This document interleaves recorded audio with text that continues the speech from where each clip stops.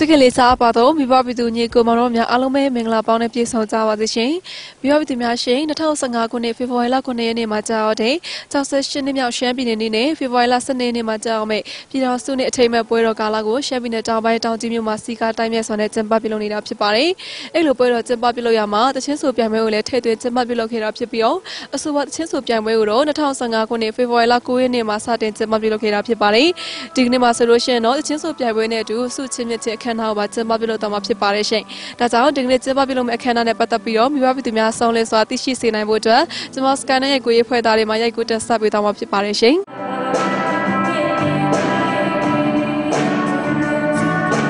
မိဘပြည်သူများရှင်ဒီနှစ်မှာကျင်းပပြုလုပ်တဲ့68နှစ်မြောက်ရှမ်းပြည်နယ်နေ့နဲ့ပြည်ထောင်စုနှစ်အထိမ်းအမှတ်တချင်းစုပြိုင်ပွဲမှာ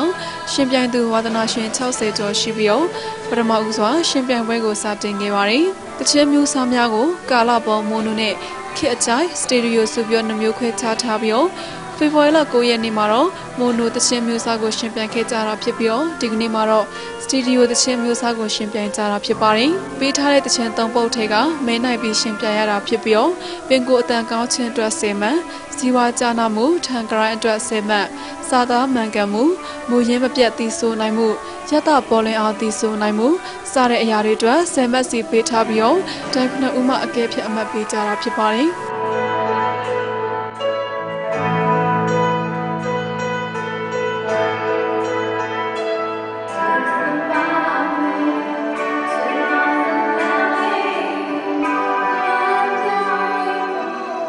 ချင်းဆိုပြိုင်ပွဲကျင်းပပြုလုပ်ပြီးည6နာရီမှာတော့စုချင်းမြင့်ချင်းအခမ်းအနားကိုစတင်ခဲ့ပါတယ်။ပထမဦးစွာစုချင်းမြင့်ချင်းအခမ်းအနားစတင်ဖွင့်လှစ်ကြောင်းကြေညာပြီးတော့ရှမ်းပြည်နယ်အစိုးရအဖွဲ့ဝင်ပြည်နယ်လျှက်စစ်နစ်စက်မှုလက်မှုဝင်ကြီးဦးဆိုင်ထွန်းရမအဖွဲ့မှစကားပြောကြားပေးခဲ့ပါတယ်။ဒီကနေ့ဟာပြီးခဲ့တဲ့ကျွန်တော်တို့မနေ့ကရဒီနေ့ရအားသာချက်တော့ပါရှိဦးမှာပေါ့ပ ထမဦးဆုံးစရပွဲဆိုတော့သူတို့တပုတ်ခင်ရအဲ့နောက်မှာတော့အမျိုးသားမိုနိုကာလာပေါ်တခြင်းမျိုးစားမှာဆူရရှိကြသူများအားရှမ်းပြည်နယ်အစိုးရဖွဲ့ဝင်ပြည်နယ်လျှက်စစ်နစ်စက်မှုလက်မှုဝင်ကြီးဦးဆိုင်ထွန်းရင်မှအဆုချင်းမြင်ပေးခဲ့ပါတယ်။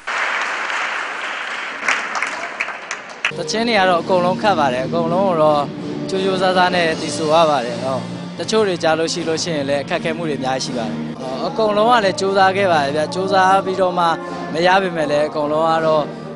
ကိုယ့်ရည်ချင်းနဲ့ကိုယ်အကုန်လုံးတော်ကြပါတယ်လို့ဆက်ပြီးစူးစမ်းပါလို့အောင်မြင်ပါပါလို့ဟောဆိုတာကတော့ငယ်ငယ်တော့ကတော့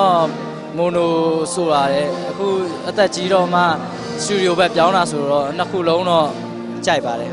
ဒီလိုပြိုင်ပွဲတွေဝင်ခြင်းအပြင်ပေါ့နော်ပိဋကတ်တွေကလည်းကိုယ်ကိုသိလာမယ်ကိုကလည်း ဒီလိုစူးစမ်းမယ်ဆိုလို့ရှိရင်အမှုပညာလမ်းကြောင်းပေါ်မှာရှောက်လန်းနိုင်မယ်လို့ရှိရထားပါတယ်ဟုတ်တချို့ကြတော့မိဘကိုပေးမယ်ပေါ့တချို့ကြတော့လိုအပ်တာလေးတွေတုံပြီးတော့ဖျားမှလူမယ်ဘုန်းကြီးတွေပါရောလူမယ်ပေါ့နော်ဆက်လက်ပြီးတော့အမျိုးသမီးမိုနိုကာလာပေါ်တခြင်းမျိုးစားမှာဆူရရှိကြသူများအားတောင်ကြီးတက္ကသိုလ်အနေစားပမောက္ခချုပ်ဒေါက်တာမူမြင့်မအဆုချင်းမြင့်ပေးခဲ့ပါတယ်ရှင်။ အဲနောက်မှာတော့အမျိုးသားစတူဒီယိုခေတ်အကြိုက်တခြင်းမျိုးစားမှာဆူရရှိကြသူများအားရှမ်းပြည်နယ်စေပင်သားရေးဌာနညွှန်ကြားရေးမှူးဦးဆိုင်ထွန်းထွန်းမအဆုချင်းမြင့်ပေးခဲ့ပါတယ်။ဆလပ်ပြောလေမြို့သမီးစတူဒီယိုခေတ်အကြိုက်တခြင်းမျိုးစားမှာစူရရှိကြသူများအားရသုံးမှန်းချေငွေစီရင်ဦးစီးဌာနမှညွှန်ကြားရေးမှူးဒေါ်နန်းမိုခမ်းမှဆုချင်မြင့်ပေးခဲ့ပါရရှင်အာညီမမိုနိုကဟိုကိုနဲ့ပေါ့နော်မိုနိုကြတော့ညီမစုံနေကြမလို့လိုက်မယ်ထင်လို့ရွေးချက်ခဲ့တာပါရှင်။ အော်ချမ်းချမ်းသချင်းနဲ့လိုက်မြထင်လို့ဆိုလိုက်တာပါဟိုအခွေတွေပေါ့နော်ဝယ်ဝယ်ပြီးတဲ့ခါကျတော့အမျိုးဖုန်းတွေထဲမှာတွင်ပြီးတော့နေ့တိုင်းနားထောက်ပါတယ်ရှင်အဲ့လိုမျိုးနေချင်းခဲ့ပါတယ်။အော်အိမ်မှာကာရာအိုကေနဲ့ကျင်တာ哦အော်အရန်ပြော့ပါတယ်ရှင်ဟို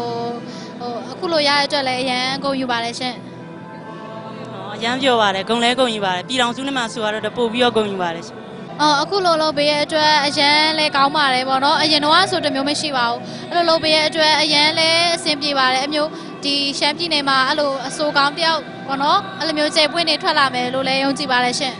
ဟုတ်ညီမကတော့အစိုးရဖြစ်ချင်ပါတယ်ဒါပေမဲ့ဖြစ်ခွင့်ရရင်ပေါ့နော်ဖြစ်ချင်ပါတယ်အခုလောဆယ်တော့ဆီယာမလုပ်ဖို့ပဲစိတ်ကူးနေပါတယ်ရှင်။ အောအော်အဆိုတော်ဖြစ်ချင်ပါငယ်ငယ်လေးကတည်းကပေါ့ဝါသနာပါတာအခက်ခဲတွေကတော့အများကြီးကြော်ဖြတ်မယ်လို့ထင်ပါတယ်အဆိုတော့ကောင်းတယောက်ဖို့ဖြစ်ဖို့ဆိုတာအခက်ခဲတွေကတော့အမြဲတမ်းရင်ဆိုင်ရမှာပေါ့နော်အဲ့လိုကြော်ဖြတ်နိုင်မယ်ဆိုလို့ရှိရင်တော့ဖြစ်နိုင်မှာပါဟုတ်အခက်ခဲတွေကတော့အဲ့လိုပဲအများကြီးတော့ကြုံတွေ့ခဲ့ရပါတယ်ရှင်ဒီမျိုးဖြတ်တတ်ခဲ့တဲ့ရှောက်မှာဟုတ်ကဲ့အဆုငွေကတော့အိမ်ပေါ့နော်အဖေနဲ့အမေကိုပေးပြီးရင်တော့မူကျွေးရမယ်လူတွေအများကြီးပါအော်အဖေနဲ့မင်းနဲ့ကတော့မှာပါ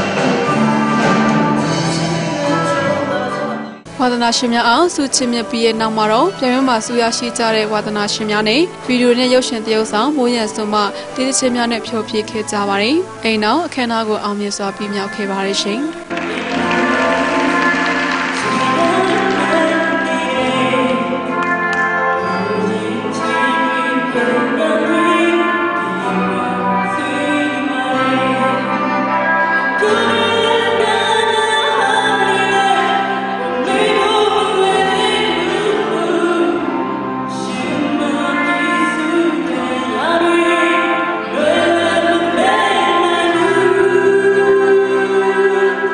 ချစ်ကလေးစားအပါတော့မိဘပြည်သူညီကိုမတော်များရှင်အခုကျမတို့ရိုက်ကူတက်ဆက်ပေးကြတာတော့68နှစ်မြောက်ရှမ်းပြည်နယ်နေ့နဲ့ပြည်တော်စုနှစ်အထိမ်းအမှတ်တချင်းဆိုပြိုင်ပွဲစုဝေးပွဲမြကွင်းပုံရိပ်များကိုရိုက်ကူတက်ဆက်ပေးကြတာပဲဖြစ်ပါတယ်ရှင်ဒီကနေ့မှာဆိုလို့ရှင်တော့မိုနိုနက်စတူဒီယိုဆိုပြီးတချင်းမျိုးစားနှမျိုးကိုပြိုင်ပွဲဝင်များကရှင်ပြိုင်သွားကြတာဖြစ်ပါတယ်မိဘပြည်သူများရှင်ယခုလိုမျိုးတချင်းဆိုပြိုင်ပွဲကျင်းပပြုလုပ်ရတာဟာရှမ်းပြည်နယ်အတွင်းမှာရှိတဲ့ဝါသနာရှင်သေးသန့်ရှင်များအစင်ကနေပြီးတော့ပညာရှင်သေးသန့်ရှင်များအထိပေါ်ထွက်လာဖို့အတွက်ရည်ရွယ်ပြီးတော့ကျင်းပပြုလုပ်တာဖြစ်တယ်လို့သိရပါတယ်ဒီစီစဉ်ကိုကျမတို့ Skynet Media တောင်ကြီးပြူရိုမှရိုက်ကိုတက်ဆက်ပေးတာဖြစ်ပါတယ်ရှင်။ကြည့်ရှုအားပေးခဲ့ကြတဲ့မိဘပြည်သူများအားလုံးစိတ်ချမ်းသာခြင်းကိုယ်ရေးကျန်းမာခြင်းနဲ့ပြည့်စုံကြပါစေ။ကျေးဇူးတင်ပါတယ်ရှင်။